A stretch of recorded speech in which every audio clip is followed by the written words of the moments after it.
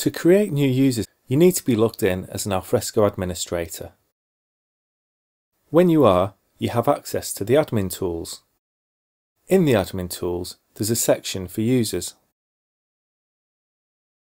You can see the existing users by searching for them.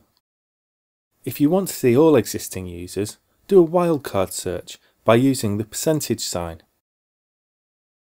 All your current Alfresco users are shown, and you can click on them to see more details.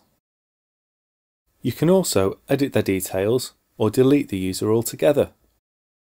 Now back in the users screen, you can add more users by clicking New User. Just enter their name, username, email and password and then click Create User. And now when you do a search, you'll see that they've been added. Of course, you may want to add a lot of new users at the same time.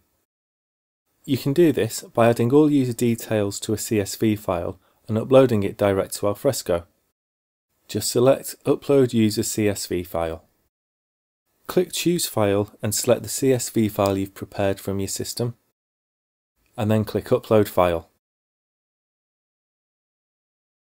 And you can see that all the new users have been successfully created.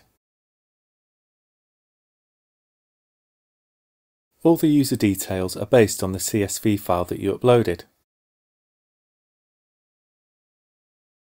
Have a look at the Alfresco help for how to add all your user details to the CSV file before you upload it.